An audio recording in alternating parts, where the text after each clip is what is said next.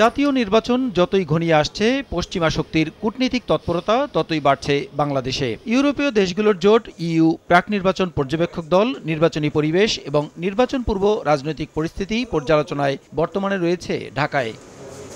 চলমান এ সফরের মাঝেই বাংলাদেশে ইইউ রাষ্ট্রদূত চার্লস হোয়াইটলির নেতৃত্বে একটি প্রতিনিধি দল সোমবার সকালে সচিবালয়ে বৈঠক করেন আওয়ামী লীগের সাধারণ সম্পাদক এবং সড়ক পরিবহন ও সেতুমন্ত্রী ওবায়দুল কাদেরের সঙ্গে। সেখানে গুরুত্ব পায় আগামী নির্বাচন issue.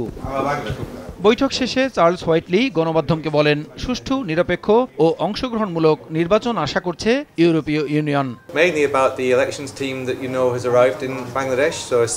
Member team that's here having meetings uh, with political parties, with civil society, with the security forces.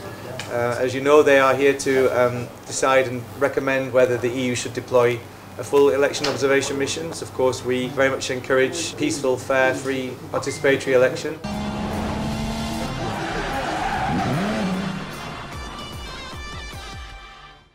আগামী নির্বাচন নিয়ে সফররত দলের কোনো উদ্বেগ নেই জানিয়ে ওবায়দুল কাদের বলেন, বিশ্বাসযোগ্য নির্বাচনের নিশ্চয়তা দেওয়া হয়েছে পশ্চিমা জোটটিকে। তত্ত্বাবধায়ক সরকার ইস্যুতে কোনো ধরনের আলোচনা হয়নি বলেও জানান তিনি।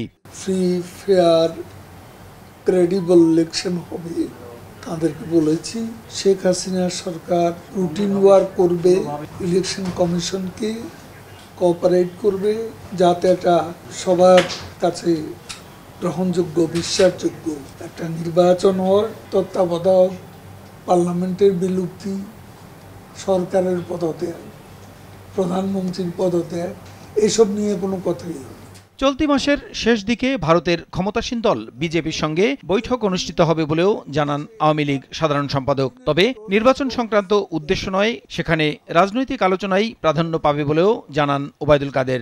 এইটাই পার্টি টু পার্টি এটার সাথে ইলেকশন রিলেটেড কোনো। এদিকে সফররত ইইউ প্রতিনিধি দল দুপুরে সচিবালয়ে পার্বত্য চট্টগ্রাম বিষয়ক মন্ত্রণালয়ের ঊর্ধ্বতন কর্মকর্তাদের সঙ্গে বৈঠক করেন। এ সময় তারা নির্বাচনী পরিবেশ পর্যবেক্ষণে দেশের পার্বত্য এলাকা পরিদর্শনের আগ্রহ দেখালে। এ বিষয়ে নির্বাচন কমিশন ও স্বরাষ্ট্র মন্ত্রণালয়ের অনুমতি নেয়ার অনুরোধ করা হয়েছে বলে জানান অতিরিক্ত সচিব আমিনুল ইসলাম। এটা নির্বাচন কমিশন ঠিক করে দেবে। প্রসূন আশিস সময় সংবাদ ঢাকা।